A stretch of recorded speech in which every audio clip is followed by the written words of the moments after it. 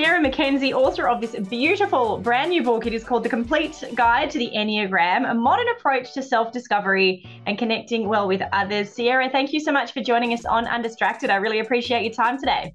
Laura, thank you so much for having me. I'm so excited to be talking to you about this. The Enneagram is something that's really near and dear to my heart, and I can't believe the book is out now. Wow. Con- congratulations. It's nice to, you know, have something physical, something tangible that really sums up so much of what has been an interest for you for a lot of years. Some mm. of our listeners will be familiar with the Enneagram type, looking at our personality through the lens of these nine different uh, archetypes, I suppose you could call it. When did your interest in Enneagram begin? How did you come across it? Well, you would laugh because I actually touch on this a little bit in the book, but I was 14 or 15 years old and someone said, Hey, you're such a four. And I said, What does that mean? Why are you telling me I'm a certain type? And it actually forced me to, it didn't force me to. I made the choice to ignore the Enneagram for many, many years because of that. So it came back to me again, probably when I was in my early 20s, late teens.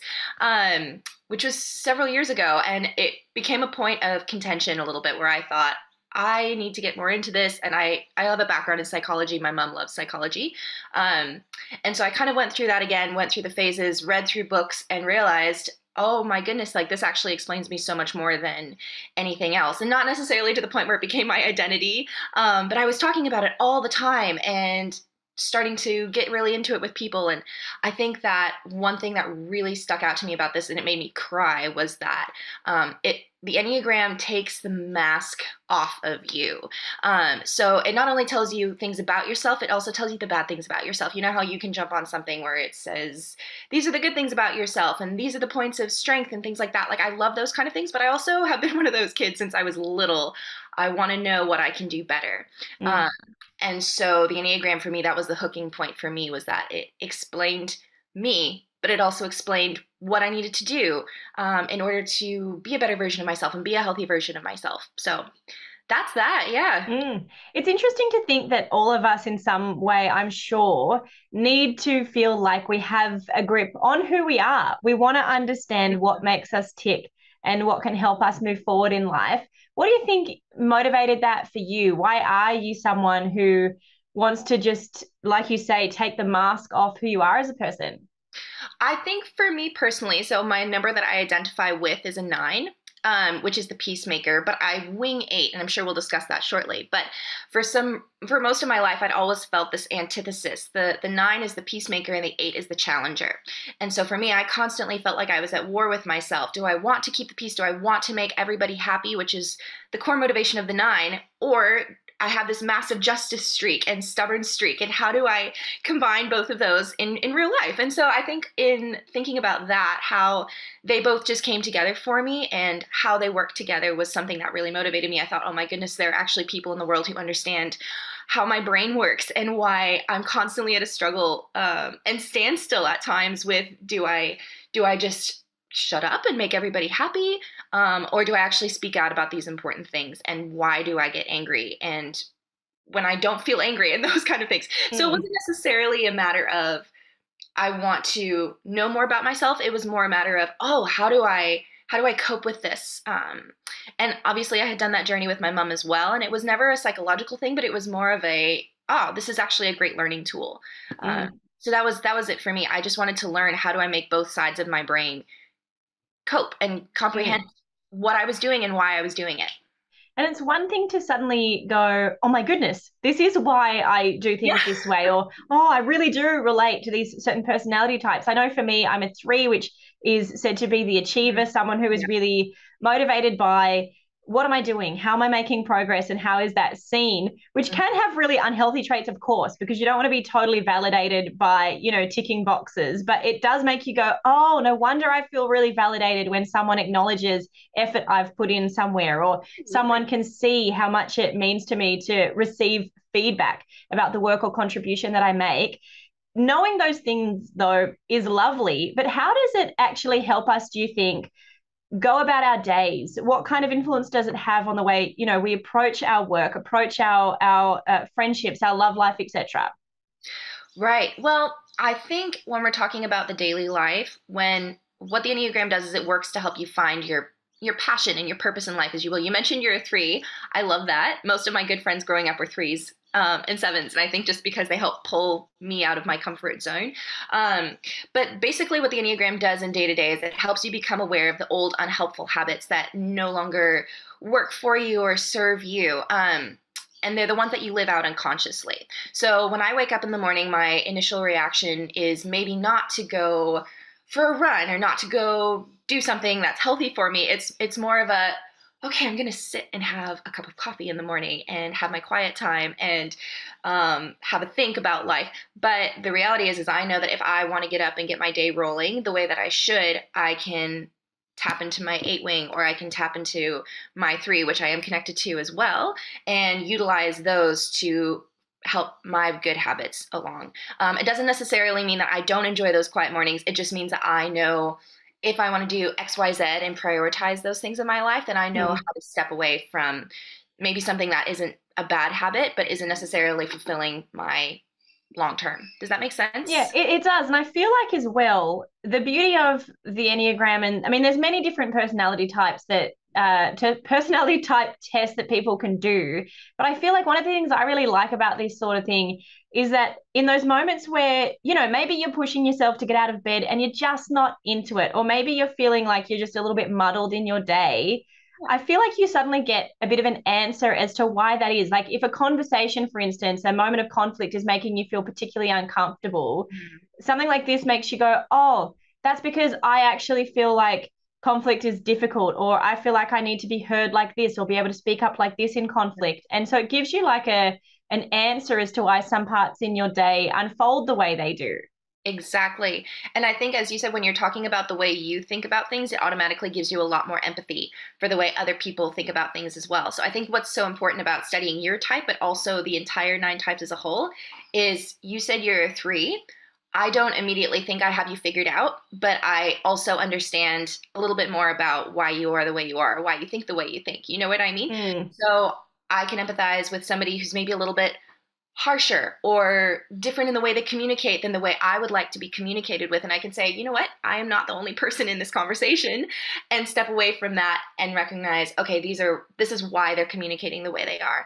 And as I said, it it opens the the pathways of communication a lot more. You're able to understand somebody a lot more easily. And I think um, even as individuals and as Christians, like we're able to build the kingdom a little bit more easily that way um, because we're not focusing from a point of oh this is how i feel and this is how i i want to think. It's mm. i have something to say that's important. You have something to say that's equally important. How do we communicate it best so that both pieces fit together? Um, yeah.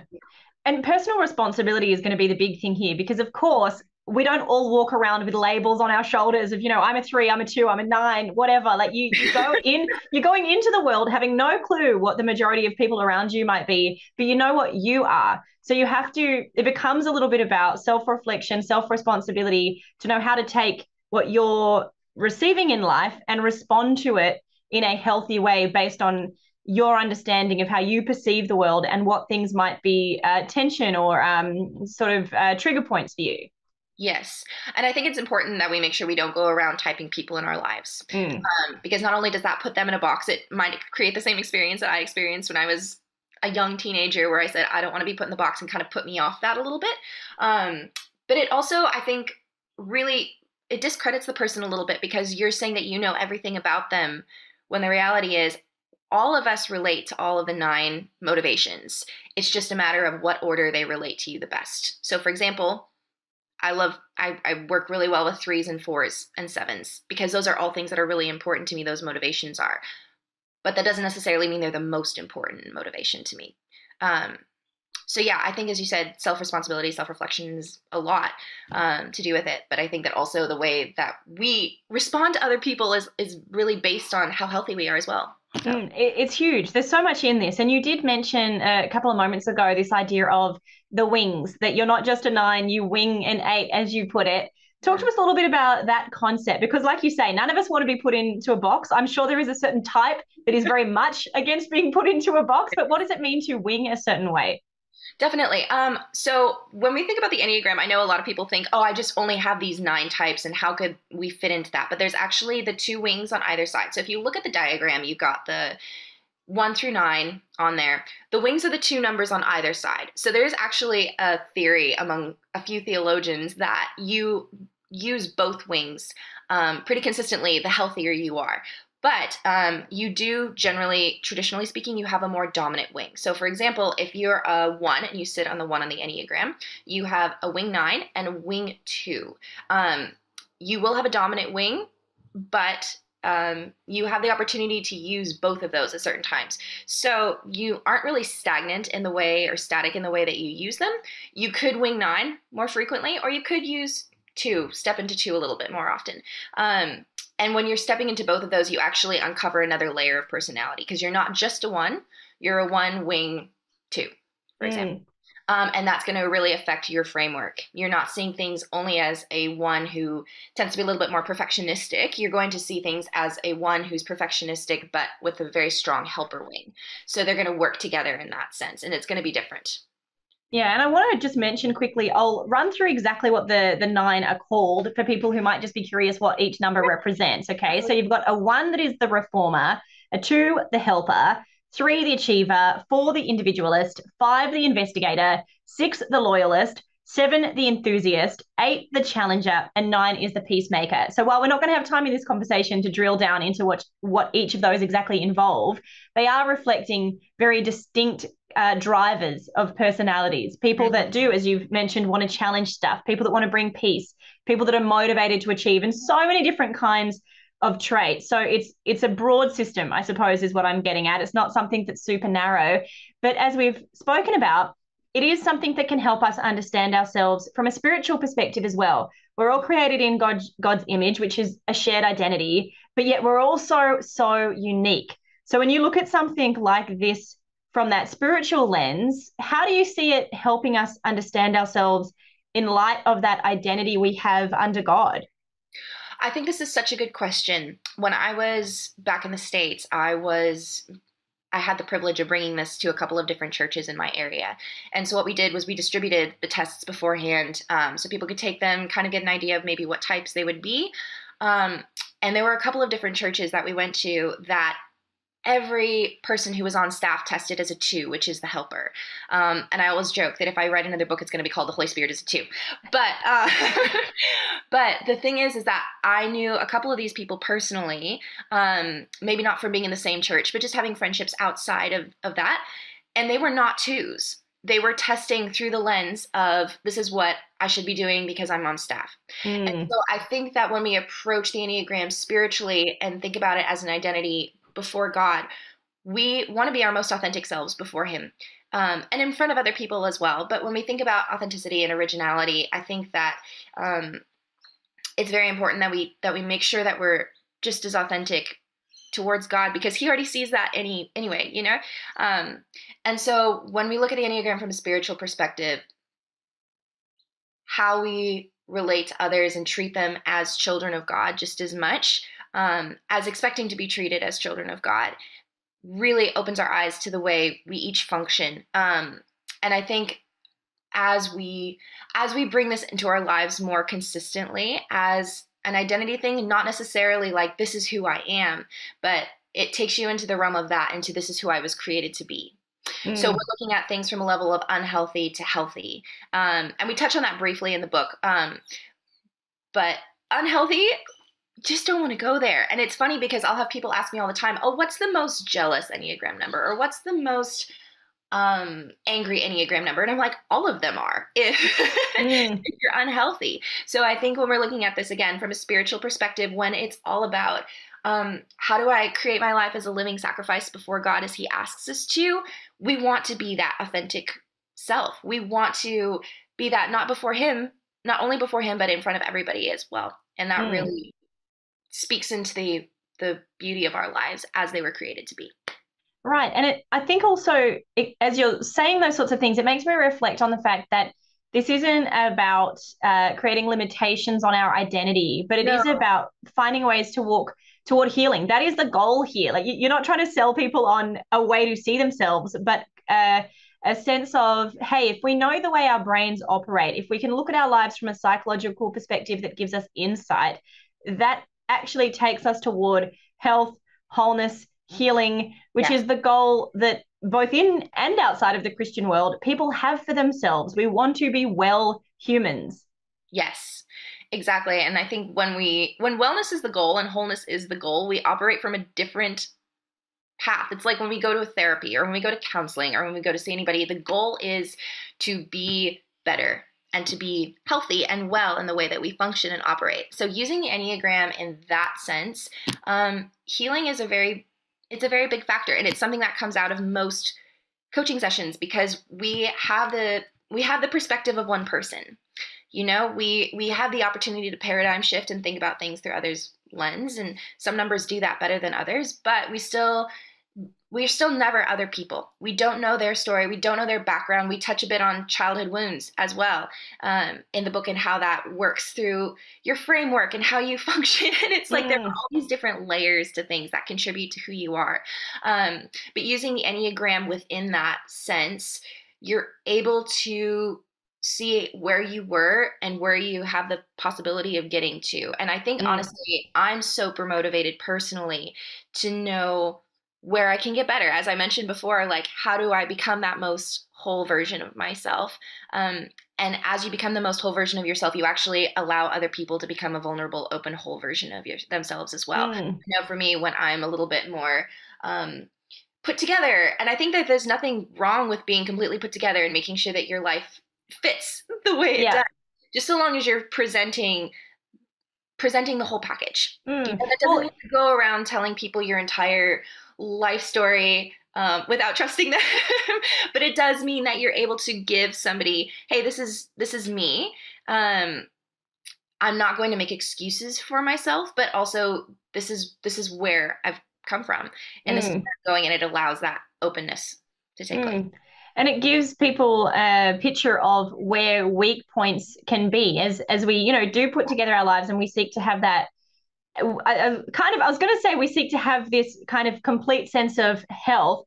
That is something that evolves and changes to our life like it, throughout our life. I don't think we ever are like hey i've made it. Here's my happy you know well-rounded life and i'm so healthy because things change throughout our lives and we realize things that we didn't realize before and then we've got to adjust those elements. Yeah. but within that journey working out where weak points are and where difficulties might lie is so important. And you touched on something earlier for you, someone who is both a peacemaker, but then also has that challenger streak and that justice streak. Mm. How how have you sought to resolve the tensions that exist between the two? How do you work through the difficulties of wanting to help people, please people, resolve conflict, but then also push the boundaries a little bit? Well, as you said, we're learning every day and I think that the older I get, the more I realize, oh, okay, like these are the things that are really important to me, and I place value on these things. Um, so, for example, as I said, the justice streak, like I want to make sure everything is fair, um, and I want to make sure that everybody is well. And so, I think that having the inner core motivation of making sure that everybody is happy is is wonderful, and I have embraced that, but not at the expense of making sure that, um, not at the expense of losing myself, because as a nine I tend to merge with the opinions of others. Um, and that has been a tendency that I have worked through and gone to counseling for and um, written a lot of written a lot about. Um, and I think that as I've gotten older and actually recognized, okay, these are my triggers for when I'm going to get angry, um, because eights they just they just get a little bit angry and mm. tend to be an extra extroverted angry person. Um, so they let it out. They don't necessarily hold it in. Um, what happens then is that i know my trigger points and it keeps me from actually having an explosion because i'm able to say well actually here's maybe a different perspective on that and i can keep it in check. Everybody is mm. still happy. The communication is stronger because i don't feel like i'm being walked over and my opinions are being heard and being valued but it's not necessarily anybody else's fault. It was always my fault. And the way I communicated things, I always thought, oh man, this person isn't letting me speak, da da da da. But the reality is, I wasn't actually speaking. And I think when you approach life from the point of view that you're not a victim of it, you're never a victim of circumstance. Mm. Um, you're able to actually emerge a lot stronger. So there are a couple of types that actually are a little bit more of an antithesis. So like the four and the five. The four is extremely emotional, so that's the um, individualist, and the five is the analyst um, or the investigator. And the individualist is beautifully emotional and and has a bit of a moodiness to them, and they're the creators. Um, but then the five is very analytical and not people oriented at all, and yeah. very task oriented and likes to have their own space. So it's funny mm. because the eight and the nine and the four and the five are very opposite. Um, so I think it's learning how to cohabit. It's almost like having two people inside of yourself. You don't, but it, mm. it's almost like having two different halves of a whole that fit together. Mm. Um, so yeah, it's been a learning journey for me, but I think I'm a lot more vocal than I was. Yeah, and it's good. It's you get you get confidence. I think something like this gives you confidence to say i know that it is difficult for me to speak up but i also know that i need to so when you take those moments to actually do it you've kind of got that sense of validation i suppose because you realize it's a really healthy thing for your personality type to do. And i know there's always there's the the things that i also picked up on in reading some of the book is that basically emotional emotion driven personality types and thought driven or analytical driven personality types, they're going to seem to be the ones that really grate against each other the most because the emotional person will feel like, why don't you see how much this affects me or how much I feel this? And then the thought person will be like, but why can't you just walk through this and see that we have an outcome we need to get to, you know? And in the application of work and life, it's going to be so different for everyone. It really is. And I think that's actually a really good point. We live, um, I don't know if we have time for this, but if we do, we have um, what we call triads as well. So, as you mentioned, we have the thinking, the feeling, and the gut triads. Um, what you have inside of the Enneagram as well, this could be a little bit confusing if you're just listening to it, but we have what we call stress and security numbers. So, for example, the type 9 will go to the 3 and will go to the 6 in stress and security. Now, these don't necessarily um, they don't necessarily mean that you're stressed when you go to them. I like to think of them as growth numbers. You go to them both in growth and you learn from them and you work with them. Um, but that just kind of gives you another layer to the Enneagram, and there's more beyond that as well. But the nice thing is that most of these types connect to another number that's in a thinking or a feeling or a gut triad that's not necessarily their primary number. So you do have access to those. It's just a matter mm-hmm. of learning how do I put myself in the thinking triad. So, for example, I go to the thinking triad when I'm stressed, and I go to the feelings triad when I'm secure. Um, so it's more of a matter of okay, if I'm in a thinking stance right now, why am I in a thinking stance? Um, how did I get here? What can I learn from this? And mm. so, likewise, for the feelings triad, they have the opportunity to go to the thinking triad, they have the opportunity to go to the gut triad, and how do you layer that and how do you think about how do you how do you articulate and think okay why am i here and i think that really really helps when you're thinking about it from a mental standpoint as well and i like looking at this whole thing as well as something that also helps us create community. This isn't just about individualism and about you know this is my number and make room for me because this is my number but it's interesting when and i think if anyone has not done the enneagram test before and worked out what you are and then done it to some of your friends you realize actually once you work out which types go well together and which can be healthy as a group mm. interestingly a lot of our friends are already those types like i found this for me that yeah. it's the people that I naturally gravitated to and if you look at it through the idea that you know god really does place us in families and god does bring about the communities that we're placed in he does put us with people that help one another that you know we are the best support for somebody else in our life. They can be the best support for us. Absolutely we have relationships that cause us tension within these mixes as well but it's like even if you don't understand this through the idea of the enneagram it is also at play in your life in some respect Absolutely. And I think it's even just taking on board the idea of conflict in relationship, um, because that can be such a game changer and such a deal breaker depending on how you take control of it. Um, so again, it's not just give me my seat at the table because I'm entitled to it. It's a lot of people tend to be conflict avoidant because of the love is easy message that we kind of grew up with. Um, thanks, Disney. yeah the reality is you don't really know how much you love that person in your life until you've had a conflict with them. Um, and I think, as you said, I've learned that firsthand. And you have no idea how another person deals with anger, with stress, and when, you know, you can actually make a thoroughly educated guess on the longevity of your relationship with them and like the hope is that when you have those specific friendships they they go a long way and in your community they go a long way um, but i think ultimately communication is key and mm. knowing the identifying traits of stress at the beginning is a huge aspect because you're able to say hey look i know a lot is going on for you how can i help and that builds community a lot more quickly than just being there for the for the good stuff mm. um, and when we become better, the relationships around us become better. And vulnerability is a huge aspect of that. Absolutely. I mean, so many wise people say you've got to be healthy as an individual before you can be healthy as a couple, or to, even if it's not romantically related. You know, healthy individuals make for healthy relationships in all contexts. Yes. So I feel like this is going to be, a, you know, a huge place to start for people. But Sierra, I want to ask you for people right now listening, the Enneagram may be something they're familiar with, not familiar with. It has been around for a number of years now since its its uh, its founders originally started talking about it. In the context of our world right now, and the challenges people are facing in a day to day space right now, what do you think the relevance is of something like the Enneagram to help us get to a place of health? Oh, that's a really good question. I think when we look at where we are here and now, um, the big thing is always keeping vision in mind as well as being present focused. And I've heard it so many times you can have a vision, but unless you're making those steps day by day, you're just never going to get there. It's the how do you get from point A to point B um, and actually making daily steps to get there. And so I think where we are in a world right now where things maybe are a lot more shaken up and we just got out of a pandemic it feels like we just got out of the pandemic and, and we're still gonna we're gonna keep seeing the repercussions of that for years i think making sure that knowing your your own vulnerable spots um, is actually a really helpful tool um, i think brene brown says something along the lines of vulnerability sounds like truth and feels like courage and then truth and courage aren't always comfortable but they're never weaknesses um, so I think walking in the spirit of truth, even if you even if you never take the Enneagram test, walking in the spirit of truth, not necessarily your own truth, because your own truth is going to be different, and that's a whole other tangent.